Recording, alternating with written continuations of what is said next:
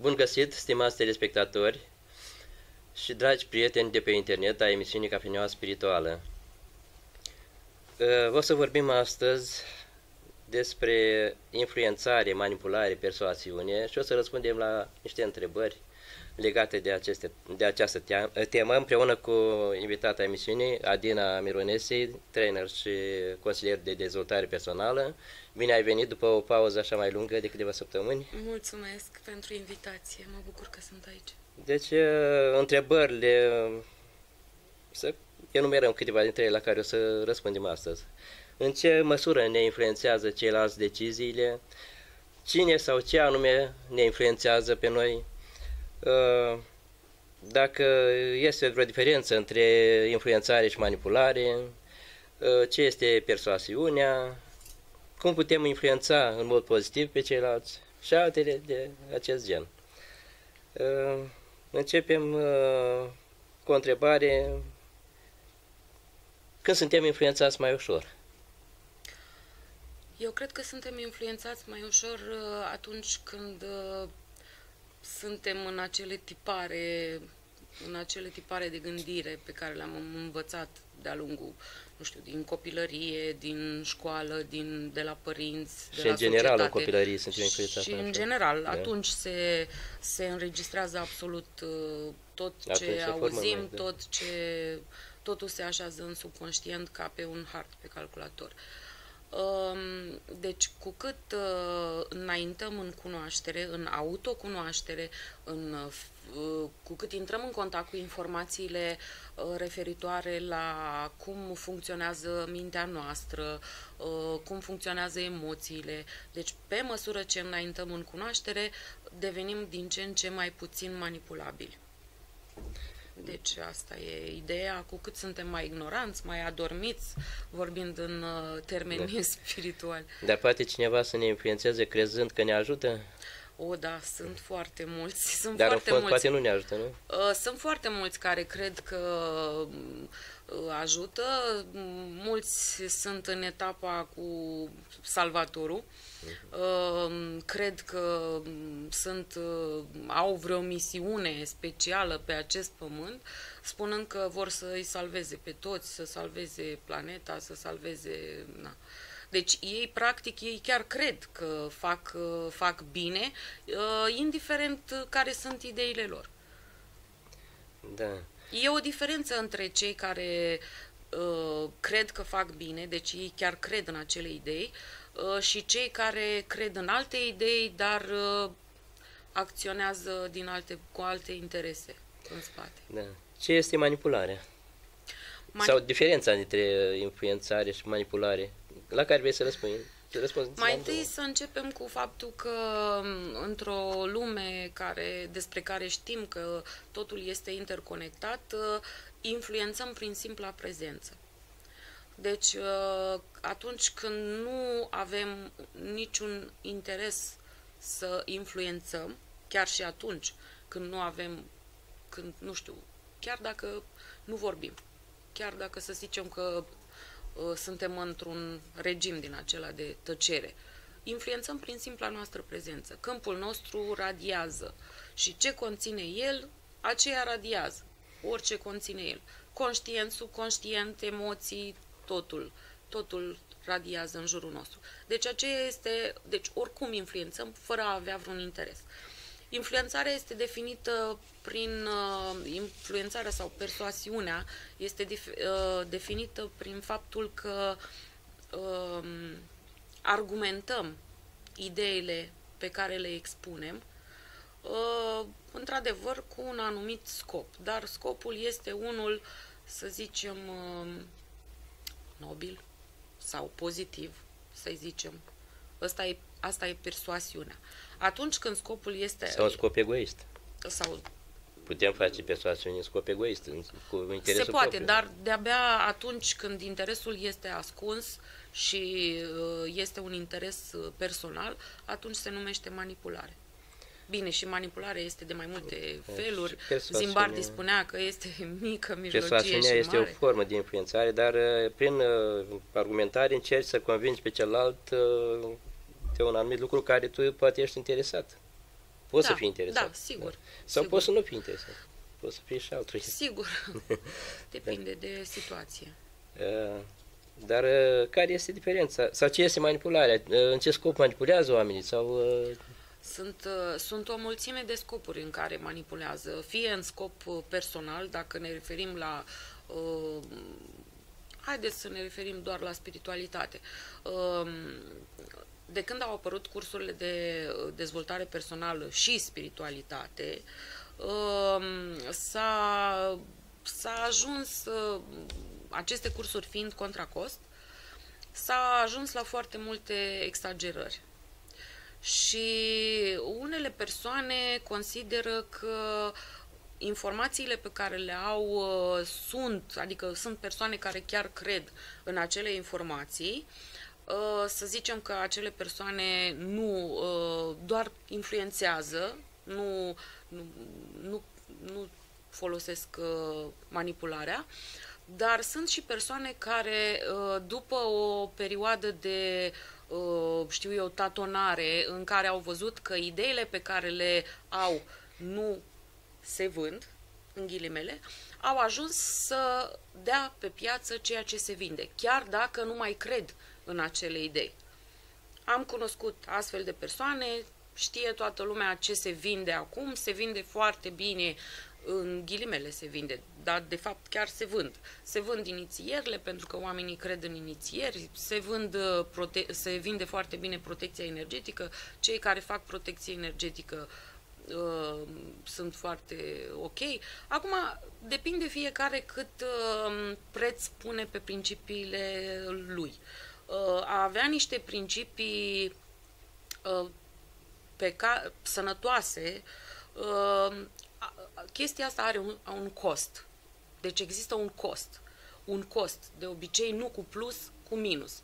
Adică în momentul în care uh, vrei totuși să rămâi pe această piață de dezvoltare personală sau evoluție spirituală, uh, lumea spune că e necesar să faci compromisuri. Pentru mine nu, adică a face un compromis înseamnă chiar a radia în câmp ceea ce nu ești. Adică nu că ceea ce nu ești, uh, să, să, să vinzi niște idei care știi că se vând, dar a, a da ceva comunității mai puțin decât ceea ce crezi tu, din motiv că ceea ce crezi tu nu are trecere, să zicem. Pentru că există oameni cu idei uh, novatoare, idei care depășesc uh, timpul nostru, care pur și simplu nu, nu au, nu sunt pe piață, n-au ajuns pe piață. Sau nu rezistă pe da. piață. Dar ce este manipulare? Este influențare în mod negativ sau ce este?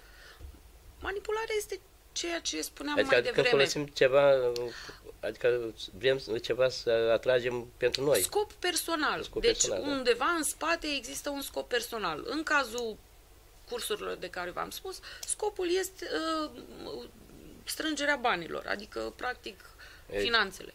Da, asta e... Asta, poate mai sunt și alte scopuri. Deci manipulezi, poți, poți și, manipula... bineînțeles, mai, mai există și puterea uh, care uh, simți că o ai atunci când uh, deții controlul. Deții, deții nu? controlul e un fel de a spune. Adică atunci când oamenii, haideți să dăm un exemplu foarte mic, să zicem că pe Facebook uh, ai foarte multe like-uri.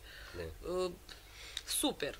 Da. Ce să da, zic? Da, da, asta e un exemplu. Da, e un exemplu micuț, da. dar na, să zicem că ai, ai adică, trecere da, la... Tu vrei să ai cât mai multe like-uri și... Eu nu. Nu, eu nu. nu. eu nu. Cineva. Nu, da. aș da. ști exact uh, ce ar trebui să fac ca să am trafic mai mult pe blog, ca să uh, am mai multe like-uri. Uh, știu exact ce ar trebui să fac, dar nu fac.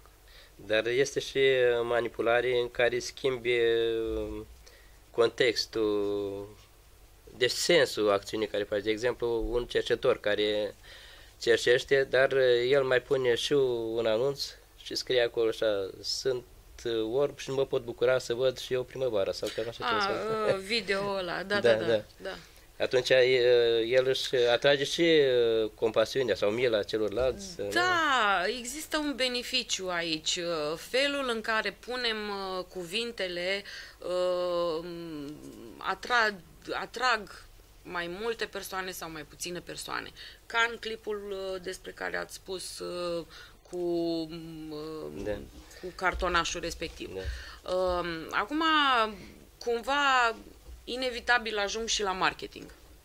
Că marketingul este o formă de uh, persoasiune, să zic așa, uh, care prezintă într-un anume fel un anumit produs sau un anumit, de obicei, produs, serviciu, orice ar fi, adică despre ce vindem este vorba. Acum, uh, marketingul ce face? Marketingul apasă butoanele nevoilor uh, consumatorilor. Deci prin publicitate. Publicitatea. Ce face publicitatea? Apasă butoanele sensibile, mai exact nevoile. Uh-huh. Și uh, ce face cu nevoile? Le accentuează. Uh, aici uh, am uh, fost sfătuită și eu uh, în toamnă și chiar uh, mai recent uh, de persoane care fac marketing și să fac prezentarea curs, seminarului într-un anume fel. Uh, pentru o perioadă am lăsat-o, dar mi-am dat seama că nu, nu mi se potrivește și mi s-a confirmat uh, treaba asta la un seminar la București, când cineva mi-a spus că uh, să știi că nu te-am recunoscut în primele paragrafe din descriere. Chiar mi-a spus asta și am și șters paragrafele respective în care era o chestiune de marketing în care uh, se accentua aceste nevoi. Adică nu e așa că uh, te simți nu știu cum, nu e așa că... Mhm. A, dar mai e și o parte uh, mai sensibilă a marketingului. Uh, mințile noastre funcționează după tipare. Și în uh, a cumpăra un produs, un serviciu, orice ar fi el, inclusiv un seminar de dezvoltare personală, noi avem niște căi pătătorite, căi neuronale uh, care le-am format deja. Pentru că suntem bombardați cu reclame peste tot. Astfel încât, dacă faci prezentarea unui curs într-un mod cu minte, fără să vrei să convingi pe nimeni, atunci uh, și spui, uite, eu am asta, asta, asta, foarte puțini oameni vor citi mai departe, pentru că nu li se stimulează acele căi neuronale. Există neuroști- se aplică neuroștiințele în marketing, astfel încât cine nu le aplică nu prea are șanse să ajungă la ca informația respectivă să ajungă la doritori. Dar manipularea se face mai ales în politică, nu? În politică... Dacă am începe discuția da. asta, cred că n-am mai terminat-o, dar oricum, dar, uh, punctul ăsta e tratat uh, Deci pe cum larg. se folosește? Ce folosesc? E prin uh, jumătăți de adevăr, nu? Cum uh, manipulează sunt opinia mai, publică bazându-se pe ignoranța celor care ascultă? Sunt mai multe tehnici, sunt mai multe tehnici de manipulare, nu o să le discutăm aici no. pentru că sunt prea multe și deja e o știință despre asta, de. dar um, cred că um, aceste tehnici de manipulare pe care le folosesc politicienii uh, se bazează tot pe nevoile noastre, pe, pe victim, pe pe boala noastră atât de puternică la nivel individual și la nivel de națiune și la nivel global, uh, victimizarea este o boală. Atâta vreme cât aștepți de la sistem să-ți dea apartament, să-ți dea împrumuturi, să-ți dea, să-ți dea loc de muncă, să-ți dea, să-ți dea totul așa și uh, foarte puține lucruri faci de unul singur, deci până nu ne vom asuma viețile noastre astfel încât să trăim și cu cât mai puțină influență din partea sistemului politic, dacă ne referim la el, până atunci vom fi manipulați în mod sistematic. Și eu cred că, ca orice lucru, um, acel lucru există doar ca să ne trezim din ignoranță. În momentul când, în care ne vom trezi, acel lucru va dispărea de la sine. Adică, părerea mea este că uh, cu cât ne îndreptăm atenția către uh, partea negativă, adică în loc să ne ocupăm de noi cum să devenim cât mai independenți de sistem, ne îndreptăm atenția către critică. Și atunci, din cauza asta, pierdem energie inutil. Atenția noastră trebuie să fie către noi înșine și cum putem să devenim cât mai independenți față de sistem. Dar, în general, sunt atrași de putere și manipulează pe ceilalți oameni care se simt lipsiți de, lipsiți de valoare. Da, clar, și care au o stimă de sine caută scăzută, care depind. În mai deci, multe moduri. Prin politică nu mult... este un mod, prin religie, prin uh, acumularea de bunuri. Uh, nu, și da. alte lucruri de felul da. ăsta, ca da. să arate da. că are valoare. Da. Pe când Dar atâta, care... repet, atâta vreme, uh, repet pentru că vreau să subliniez, atâta vreme cât atenția noastră va fi îndreptată spre critică și da. nu spre înlăturarea ignoranței, nu vom reuși să, să ieșim din acest joc. Că e un joc. Da. Da, uh, dar uh, în legătură cu liberul arbitru, când influențăm pe cineva uh, îi lezăm liberul arbitru sau... Uh, Când influențăm în mod negativ, cu nu? scop, da. adică cu un interes, da. evident că uh, îi lezăm liberul arbitru. Pentru că profităm pe românește de ignoranța persoanei. Simplu. Da. Uh, deci numai când influențez uh, pe cineva în mod pozitiv, uh, fără a avea niciun interes, atunci Cred că...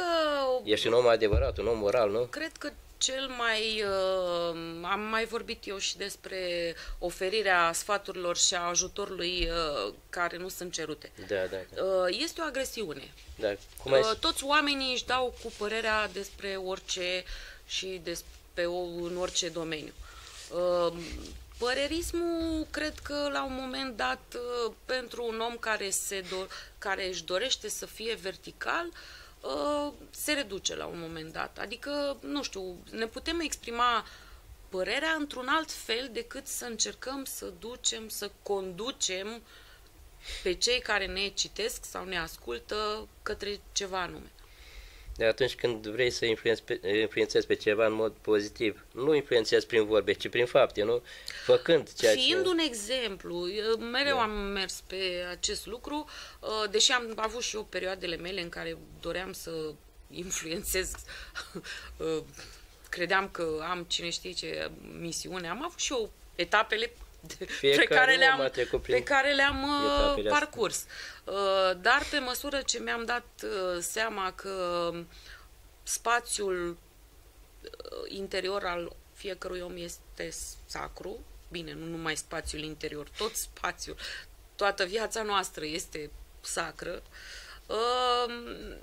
mi-am redus considerabil influențele către un anumit către o anumită direcție.